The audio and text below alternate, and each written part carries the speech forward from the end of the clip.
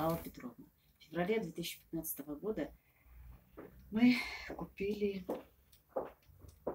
пакет документов для открытия пункта проката от компании Ялма.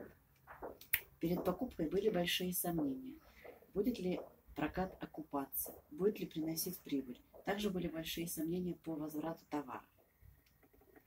Но э, компания Ялмат выслала, предоставила нам пакет документов, в котором содержалась подробная инструкция о размещении рекламы, о работе с клиентами. Э, также э, содержались бланки договоров, оформленные юристами, по которым мы и сейчас работаем. Э, руководитель компании Ялмат подробно разъяснил нам, как работать с клиентами, как правильно э, сдавать товар, как правильно принимать товар.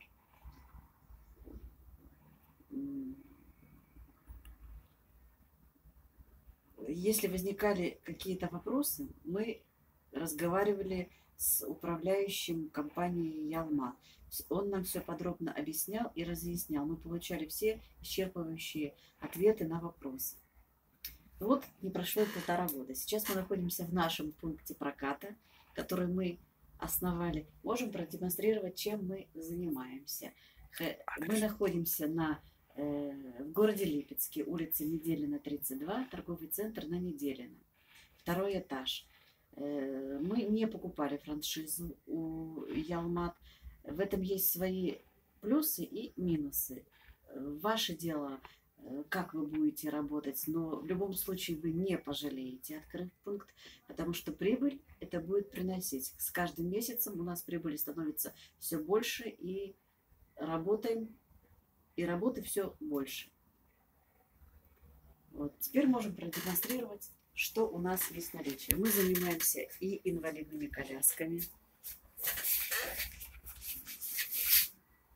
Это наш уголок потребителя. Это обязательно должен быть. Также у нас костыли. Очень хорошо, э, э, пользу, очень большим спросом пользуются детские весы.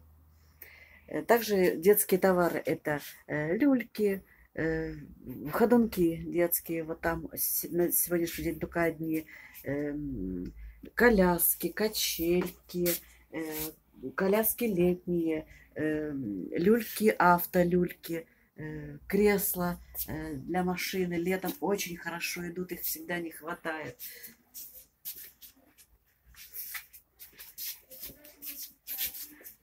Сейчас покажу с торца, где мы находимся. Вот это вот наша вывеска. Мы сделали ее по своим.